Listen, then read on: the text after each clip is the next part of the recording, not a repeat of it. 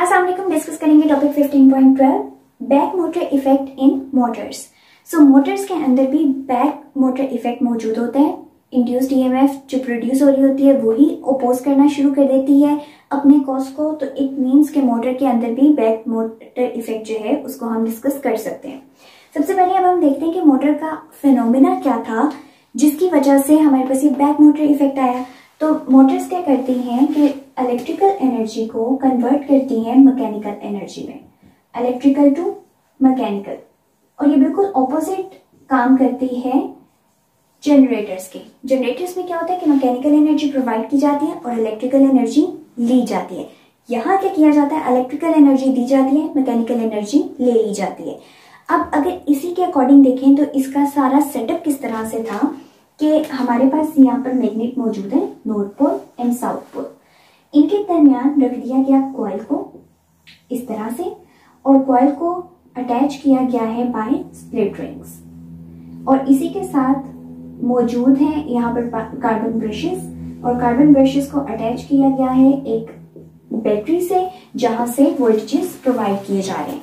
जब ये सारे हमारे पास सेटअप मौजूद था तो क्या हुआ? कि बैटरी से हम क्या प्रोवाइड करेंगे? इलेक्ट्रिकल करंट को।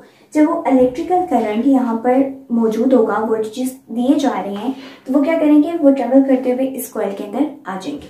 जब कॉयल के अंदर अब करंट आ रहा है, इस तरह से, और यहाँ पर क्या मौजूद है? यहाँ पर हमारे पास मौजूद है मैग्नेटिक फ़ील्ड नॉर्थ पोल से साउथ पोल की तरफ़ जाती हुई ये लाइंस हमें शो हो रही इस तरह से। जैसे हमने करंट प्रोवाइड किया, एक तो हम क्या दे रहे हैं? इंड्यूस्ड ईएमएफ ऑलरेडी प्रोवाइड कर रहे हैं, यानी कि वोल्टेज प्रोवाइड कर रहे हैं बाय द सोर्स तो ये हमारे पास वी मौजूद था। अब हुआ क्या कि जैसे जैसे ये करंट पास आउट कर रहा था करंट का फ्लो की वजह से क्या हुआ कि यहाँ पर मैग्नेटिक फ़ील्ड भी मौजूद है। मैग्नेटिक फ़ील्ड के अंदर पड़े हुए कॉइल के ऊपर लगना शुरू हो गई फोर्स मैग्नेटिक फोर्स और उस मैग्नेटिक फोर्स ने क्या किया? इस कॉइल के अंदर टॉर्क प्रोड्यूस करवा दिया। इट मींस ये इसी के अंदर मैग्नेटिक फ़ील्ड के अंदर रोटेट होना शुरू हो जाएगा। जब कॉइल रोटेट हो रहा है तो रोटेशन की वजह से क्या होगा? मैग्नेटिक फ़ील्ड लाइंस इसके अंदर से पास आउट हो रही हैं, लेकिन अब उनका नंबर चेंज होता जा रहा है। तो इस एरिया के अंदर से बार बार कभी ज़्यादा लाइंस पास आउट हो रही हैं, कभी कम पास आउट हो रही हैं, इसका मतलब है इंड्यूस्ड ईएमएफ प्रोड्यूस हो जाएगा। और वो इंड्यूस्ड ईएमएफ क्या करेगा? अपने ही कॉज को ओपोज करेगा, और उसका कॉज क्या है? ये बैटरी जिसकी वजह से इस पूरे सर्किट के अंदर चेंजेस आना शुरू हुए इंड्यूस्ड ईएमएफ की पोलैरिटी जो है वो डायरेक्शन इस तरह से होगी कि वो ओपोजिशन कर रहे हैं मुखालफत कर रहे हैं इस वी के। तो पूरे सर्किट के अंदर जो ईएमएफ आ रहा है, वो किस तरह से होगा? नेट ईएमएफ वी जो कि हम प्रोवाइड कर रहे थे externally and internally induced EMF produce हुआ, जो कि, जिसकी पोलैरिटी डिफरेंट है ऑपोजिट है। और ऑपोजिट का क्या मतलब है? Negative with negative sign so अगर ये पॉजिटिव साइन के साथ था, ये नेगेटिव साइन के साथ हो गया। सो so, ये हमारे पास बैक मोटर इफ़ेक्ट आ गया।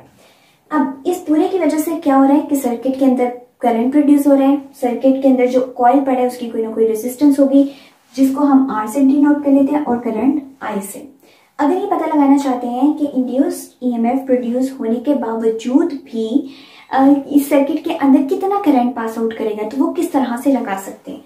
By using Ohm's law V equals to I R ये ओहम्स लॉ की स्टेटमेंट है।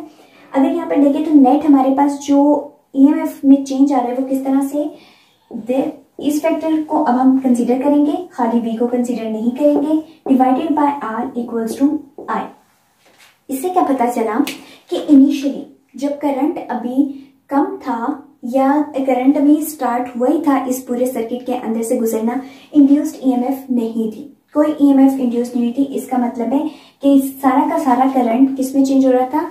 जितने वोल्टेज प्रोवाइड किए जा रहे थे और उसके अंदर जितनी रेजिस्टेंस थी, उसको ओवरकम करने के लिए यूज़ हो रहा था। फिर आहिस्ता आहिस्ता क्या हुआ कि करंट बढ़ता क्या बढ़ता क्या जब वो करंट बढ़ रहा था, अब कोई ना कोई इंड्यूस्ड ईएमएफ की भी वैल्यू आना शुरू हो गई। करंट ऑटोमेटिकली उस पर डिपेंड कर रहे हैं डायरेक्टली प्रोपोर्शनल है। अब ये वाला फैक्टर जो पहले वी था लेट सपोज़ हम कह देते हैं कि वी फाइव वोल्ट था।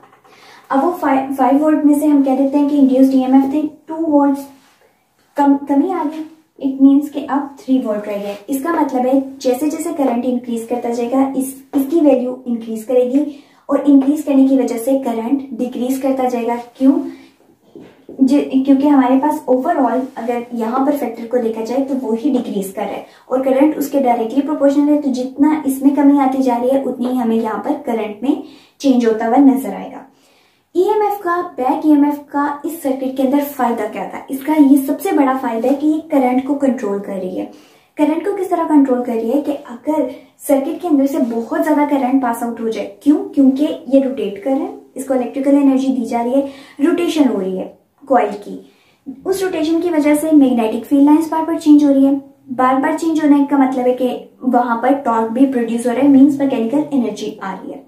अगर यहाँ पर कोई इंड्यूस्ड ईएमएफ ना हो, कोई चीज़ मुखालफत करने वाली ना हो तो मोटर के अंदर कॉयल मैग्नेटिक फ़ील्ड के अंदर कॉयल बहुत तेज़ी से रोटेट करे।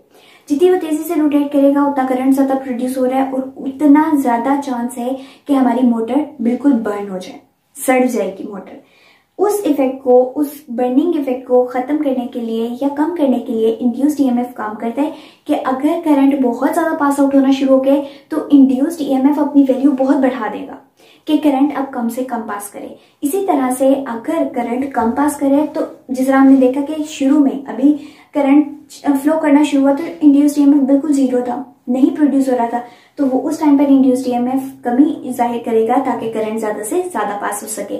तो इसका मतलब है कि ये अपने कॉज को ही अपोज करें जो चीज़ इसको कमी और बेशी करनी होती है, ये अपने मुताबिक, अपने सर्किट के रिक्वायरमेंट के मुताबिक करके और इस सर्किट को बिल्कुल परफेक्टली काम करने पर राज़ी कर लेता है। तो ये था हमारा कंप्लीट टॉपिक जिसमें हमने बैक मोटर इफ़ेक्ट को स्टडी किया कि उसका फ़ायदा क्या है और किस तरह से प्रोड्यूस हो रही है इन मोटर्स